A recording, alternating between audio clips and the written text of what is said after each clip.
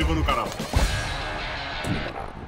Tal qual como o Internacional, perdão, que eu acho bacana fazer pequenos ajustes, testes e tudo mais.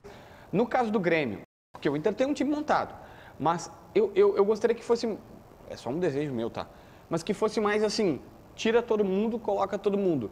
Eu gostaria que o Renato pegasse todo o time titular, ó, hoje a gente vai preservar o time titular.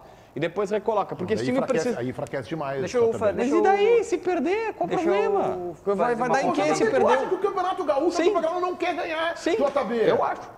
Pra mim, é, o Renato, o Gauchão Então, tem então, então, 11 por que que tu rodadas faz vídeo iniciais. sobre o Campeonato Gaúcho no teu prestigiadíssimo canal, que é o Real Madrid, emparelhado com o do Baldaço, que é o Barcelona. Por que, que tu faz vídeo? Só me diz isso. Por que, que tu hoje vai fazer vídeo sobre os dois jogos? Sim. Não faz, já que não vale porcaria nenhuma na tua opinião. É que assim, ó, aí, que, aí é que Fica está. desmerecendo o Gauchão, Não, não, cara. não, Peraí, peraí, aí é que Deixa eu do- interromper um do- pouquinho o papo de vocês aí. É o seguinte, ó.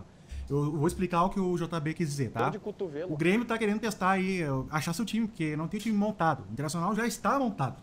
Só que em contrapartida, o Grêmio, que não tá montado, tem resultados melhores que o Internacional, que já está montado, que fez uma grande campanha no Campeonato Brasileiro e conseguiu a vice-liderança aí na segunda, no retorno, né?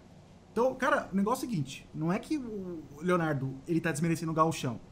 O gauchão é um título importante pra gente aqui, pra nossa cultura local, né? No caso, vocês, eu não sou gaúcho. Mas é importante pro Rio Grande do Sul, eu- meu pai é gaúcho, eu sei que é, no Grenal de 97, na final, lá com o Fabiano Cachaça metendo gol no Grêmio, Não, onde? teve desfile na rua, carro aberto, teve torcida comemorando. O gauchão já foi um grande campeonato aí, com bastante hype aí, os jornais aí noticiando a dupla Grenal a semana toda e tal.